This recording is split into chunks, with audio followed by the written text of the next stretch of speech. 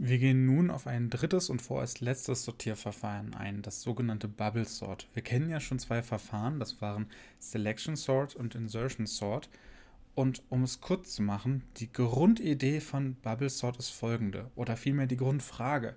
Lässt sich eigentlich ein Algorithmus zum Sortieren von Zahlen nahezu ausschließlich auf Basis dieser Swap-Funktion, die wir schon kennen, aufbauen? Gemeint ist diese Swap-Funktion, also die Funktion, die die Elemente in einem Array, die an Enter- und Ämter-Positionen sind, gerade austauscht.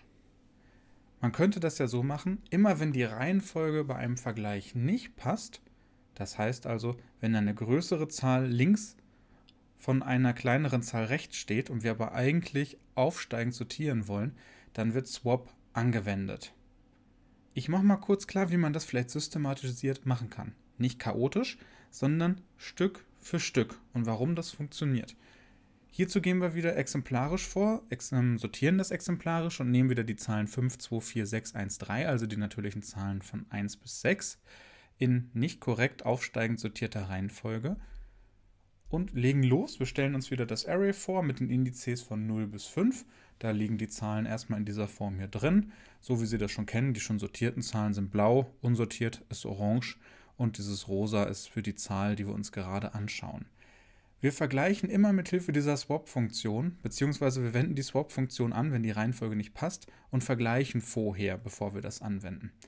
Da legen wir erstmal mit den ersten beiden Zahlen los. Und wir sehen schon, da haben wir ein kleines Problem. Da passt es ja gar nicht.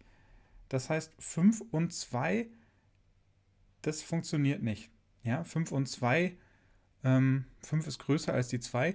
Also wende ich die Swap-Funktion auf die beiden an, tausche die beiden das heißt, jetzt lande ich hier bei dieser Position und habe 2 und 5.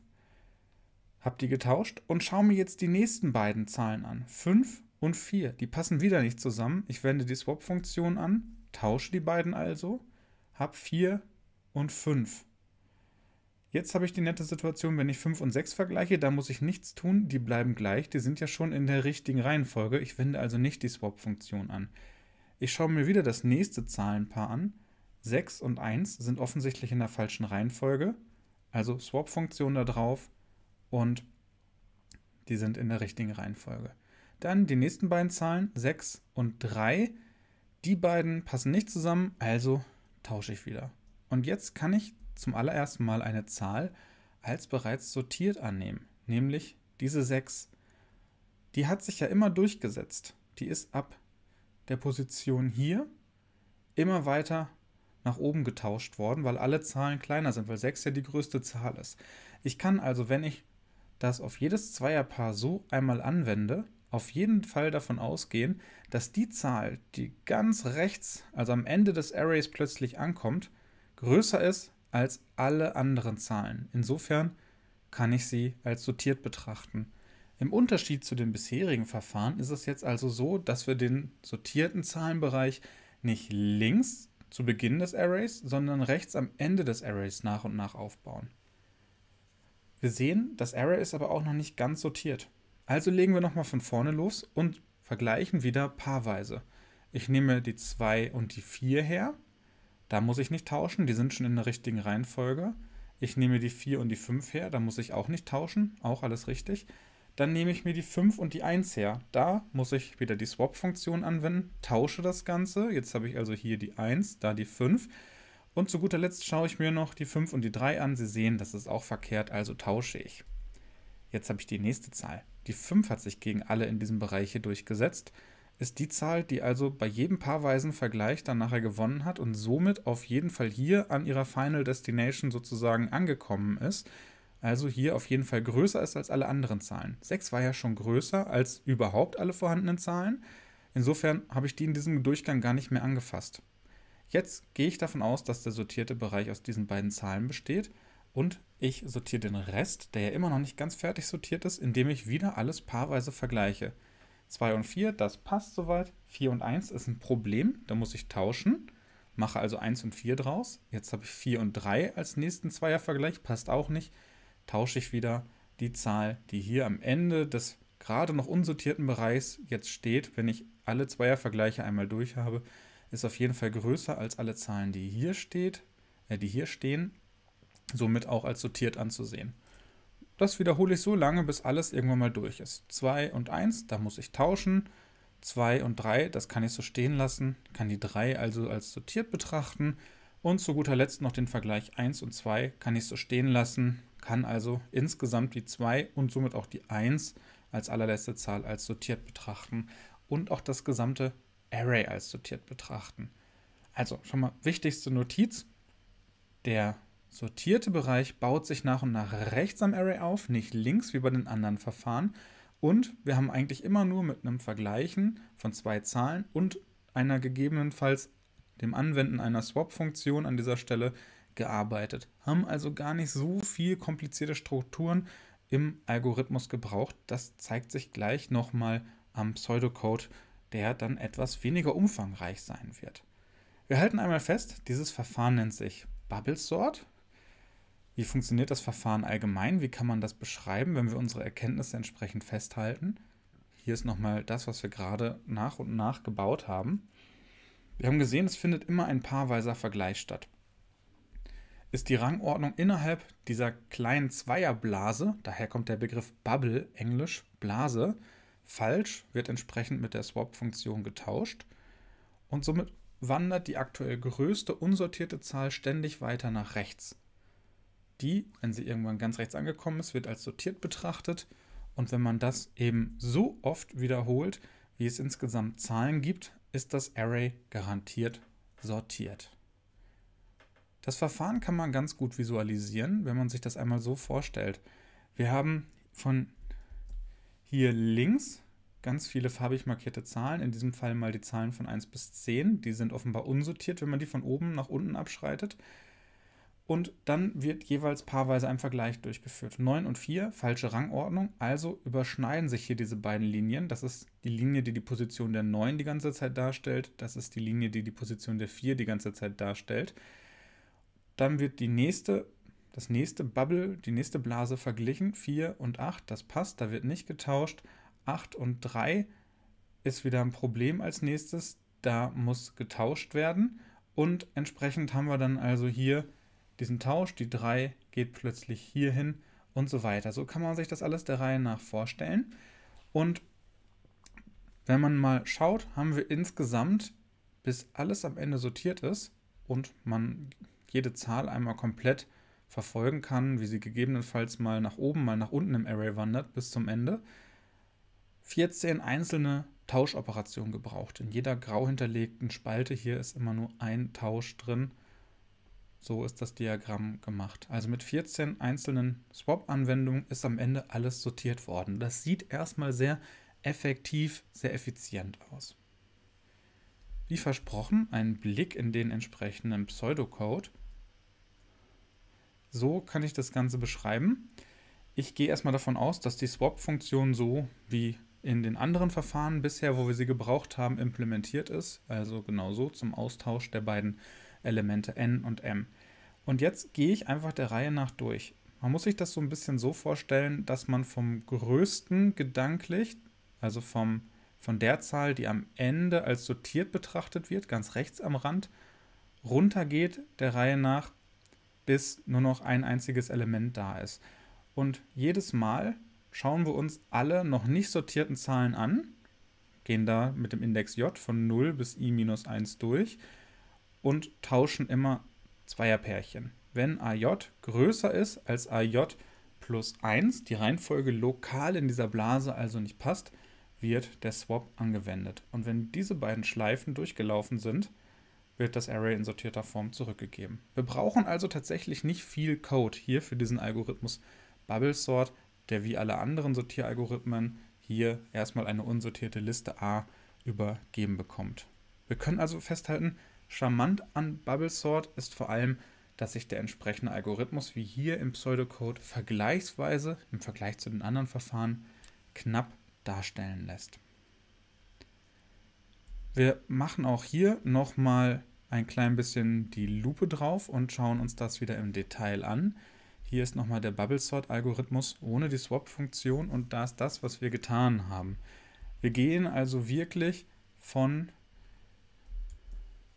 diesem i ganz nach oben, also n minus 1 bis 1, nach und nach runter und i dient sozusagen immer als oberstes Limit für die innere Fürschleife. Das heißt, wir schauen uns dann ganz am Anfang erstmal alle an, vergleichen die beiden miteinander, j und j und, und j plus 1, dann wieder j und j plus 1, j und j plus 1. j steigt jedes Mal ja um einen Wert auf und immer dann, wenn es nicht passt, wird entsprechend getauscht, so wie hier zum Beispiel.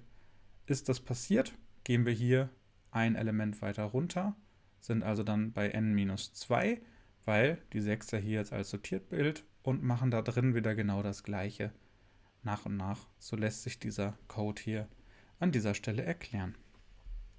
Das Tolle an Bubblesort ist, es verbessert die Lösung, also das Array, sukzessive, Schritt für Schritt. Das ist so ein bisschen wie beim Newton-Verfahren. Bubblesort ist also ein Algorithmus, der die Lösung, in diesem Fall wie gesagt ein Array, dessen Sortierung angestrebt wird, schrittweise optimiert, so wie das Newton-Verfahren eine Nullstellenlösung nach und nach optimiert und jedes Mal etwas besser macht. Das kann man sich mit folgender Animation gut vor Augen führen. Wir haben hier Zahlen, die unsortiert sind und die Größe der Zahl wird durch die Höhe der Säule dargestellt. Wir haben also hier verschiedene Zahlen, das sind die größten, das sind die kleinsten, die sind offensichtlich unsortiert. Und jetzt fahre ich die paarweise ab und die, die ich mir anschaue, die sind gleich immer rot dargestellt. Was ich also jetzt an dieser Stelle mache, ich gehe die alle durch und immer wenn die Reihenfolge lokal nicht passt, tausche ich die beiden. Das sehen Sie immer mal wieder, tauschen zwei Säulen. Bin ich durch, ist der letzte sortiert. Wir sehen, die größte Säule ist ganz offenbar hier.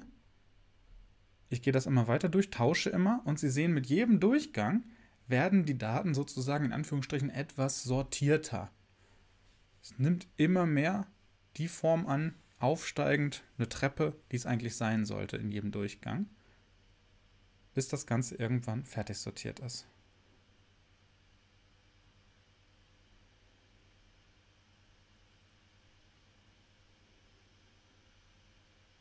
Da haben wir es. Und jetzt haben wir wirklich eine aufsteigende Treppe. Alle Zahlen sind entsprechend sortiert.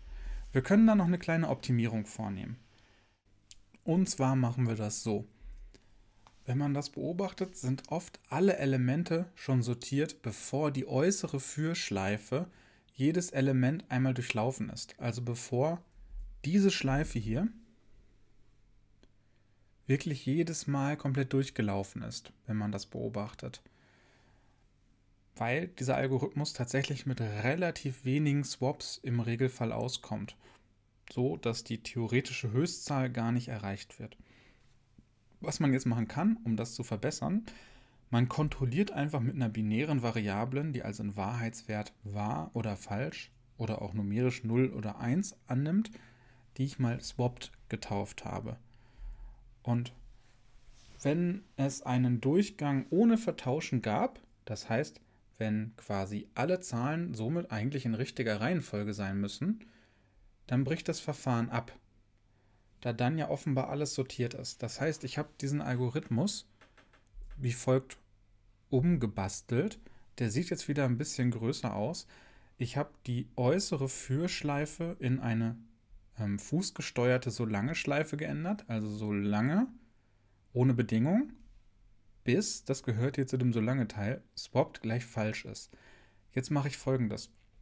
Ich hole mir wieder die Länge des Arrays hier raus, setze i auf n-1, so wie es hier auch losgeht. Und ganz am Anfang gehe ich davon aus, ich habe keinen Tausch durchgeführt. Dann mache ich alles wie links in dem kürzeren Pseudocode dargestellt, gehe der Reihe nach durch, vergleiche immer und wenn die Reihenfolge nicht passt, führe ich einen Swap aus. Wenn ich einen Swap ausgeführt habe, merke ich mir das und setze den auf wahr. Dann reduziere ich i um 1. Das passiert ja, weil ich keine Fürschleife außen mehr habe, nicht von alleine, sondern ich muss das einmal separat hinschreiben. Dann überprüfe ich, ob ich einen Swap ausgeführt habe. Habe ich ja in diesem Fall. Das heißt, bis Swap gleich falsch ist, ist auf jeden Fall noch nicht erfüllt als Bedingung.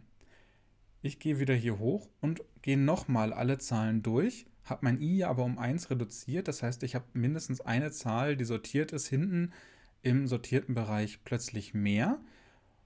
Und ich gehe das Ganze wieder entsprechend durch. das mache ich so lange, bis ich irgendwann keinen einzigen Tausch mehr hatte. Wenn ich keinen einzigen Tausch mehr hatte, ist alles auf jeden Fall in seiner richtigen Reihenfolge. Sonst hätte ich ja getauscht. Das heißt, es wird nicht dazu kommen, dass Swap gleich wahr wird. Dieses Swap gleich falsch bleibt offenbar bestehen. Und ich breche ab. Somit spare ich mir einige Leerdurchläufe dieser äußeren Schleife, die gerade hier noch eine Fürschleife war, die jetzt hier eine fußgesteuerte so lange Schleife geworden ist und spare somit insgesamt etwas Aufwand. Wir wollen das hierbei belassen und fassen nochmal kurz alles zusammen. Bubble Sort, haben wir gesehen, funktioniert nahezu ausschließlich durch Anwenden dieser Swap-Funktion und der Pseudocode des Verfahrens, wenn man es jetzt nicht verbessert, ist hierdurch vergleichsweise einfach aufgebaut. Die einzelnen Paare, die der Reihe nach verglichen werden, sind die namensgebenden Bubbles, also die Blasen, in denen Zweierpärchen aus, bestehend aus Zweierpärchen, wo jeweils getauscht wird. Und die Lösung des Algorithmus wird offenbar iterativ immer besser, wie beim Newton-Verfahren, was wir mit den Säulen gesehen haben, sodass das Zahlenarray in jedem Durchlauf etwas sortierter wird. Und letzten Endes das Verfahren selbst kann man etwas optimieren, haben wir auf der letzten Folie gesehen, indem man die letzten Schleifendurchläufe, bei denen nichts mehr vertauscht wird, durch Einführen einer Variable swap unterlässt, indem eben vorher der ganze Algorithmus durch das Herausspringen aus der äußeren Schleife beendet wird. Das war's soweit. Bis zum nächsten Mal.